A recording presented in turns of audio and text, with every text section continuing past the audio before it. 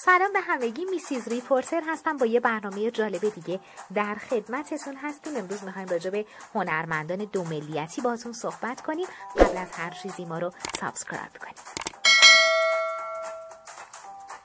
سبک زندگی هنرمندا با دیگر اقشار مختلف جامعه یک کمی متفاوته. در اینجا نگاهی گذرا داشته باشیم به برخی از سلبریتی هایی که دو تابعیتی هستند.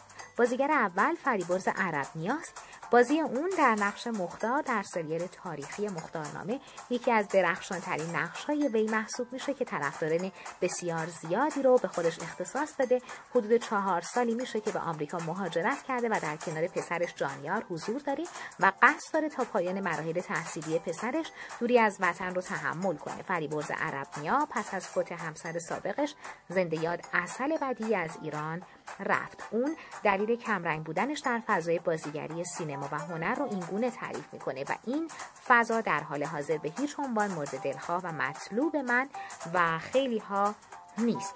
و فیلمنامه ها و آثار خوب بسیار بسیار کمیاب شده اما این به این معنی نیست که من کلا از این عرصه دور شدم. نسرین مقانلو فعالیت خودش رو با نقش کوتاهی در فیلم دو نیمه سیب به کارگردانی کیانوش ایاری شروع کرد و پس از بازی در فیلم نابخشوده سالهایی رو در خارج از کشور برای زندگی برگزید. نسرین مقانلو همسر کمال خلیلیانه و فرزندانی به نامهای ارشیا و آریان داره. این هنرمند به همراه پسرانش در حال حاضر آمریکا زندگی می‌کنه و به آمریکا رفت و آمد داره. بازیگر بعدی ما پارسا پیروزفره که سال 51 در تهران متولد شده. بازیگر سینما و تلویزیون کارگردان و مدرس تئاتر نمایش نامه نویس مترجم و نقاش ایرانیه حدود سال 87 درخواست های پیروزفر برای گرفتن پاسپورت آمریکایی به گوش می رسید. در طول این سالها برای اینکه درخواستش رو پیگیری کنه در فواصل مختلف بین ایران و آمریکا در سفر بود و در حال حاضر توی آمریکا زندگی می‌کنه. پارسا پیروزفر از جمله بازیگرانیه که تا به حال با هیچ روزنامه مجله و یا رسانه مصاحبه نکرده حتی در سریال در چشم باد که نقش اول و اصلی رو داشت در مراسم تقدیر از عوامل سریال که از سوی صدا و سیمای ایران تدارک دیده شده بود شرکت نکرد. به به می‌رسیم به ایرج تحماس.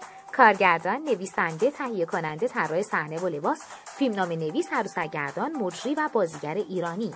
ایرج تحماس دائم بین ایران و کانادا در رفت و آمده. بعد از هر پروژه‌ای که در ایران می‌سازه عازم سفر به کانادا میشه. دفتری در این کشور داره و کارهایی که در ایران و کانادا انجام میده از همونجا هندل می‌کنه.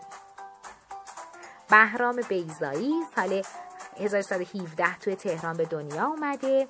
کارگردان سینما تاس نمایشنامه نویس فیلمنامه نویسه. بیزایی در دانشگاه آکسفورد مشغول تدریسه. اگر همین امکان برای دانشگاه ایران هم وجود داشت می‌شد از وجود تجربه و تدریس بینظیرش بهره برد چرا که همین مورد یکی از دلایل مهاجرت این هنرمند به خارج از کشوره محمد موتی از هنرمندانی که سوئد رو برای زندگی انتخاب کرده می‌تونیم به محمد موتی اشاره کنیم که در سریال پربیننده سلطان و شبان نقش آفرینی کرد. هنرمندانی که در خارج از کشور زندگی می‌کنند محمد موسی لیسانس تئاتر از دانشکده هنرهای دراماتیک از وضعیت سیاسی حاکم بر کشورمون راضی نبود و به همین علت به کشور سوئد مهاجرت کرد. البته به دلیل فعالیتش در سینما و تلویزیون در سالهای پایان عمرش در حال رفت و آمد بود و در سال 1397 در منزل شخصی خودش داره فانی رو وداد گفت. روحشون شد نیکی کریمی در سال 50 توی تهران به دنیا آمد. علاوه بر بازیگری کارگردانی تهیه کنندگی عکاسی در زمینه مترجمی کتاب نیز فعالیت داره. نخستین نقش سینماییش رو در فیلم وسوسه به کارگردانی جمشید هیدری به دست آورد. این هنرپیشه ایرانی که خانوادهش در انگلستان زندگی می‌کنند بین ایران و لندن رفت و آمد داره. آخرین اخبار رویدادها و حواشی روز سینما تلویزیون بازیگران و هنرمندان رو در برنامه ما تو همین پستا می‌تونید گوش بدید یادتون نره که ما رو subscribe کنید توی فیسبوک یوتیوب و اینستاگرام ما رو دنبال کنید. برامون کامنت بذارین بهمون انگیزه بدین. خیلی دوستتون داریم.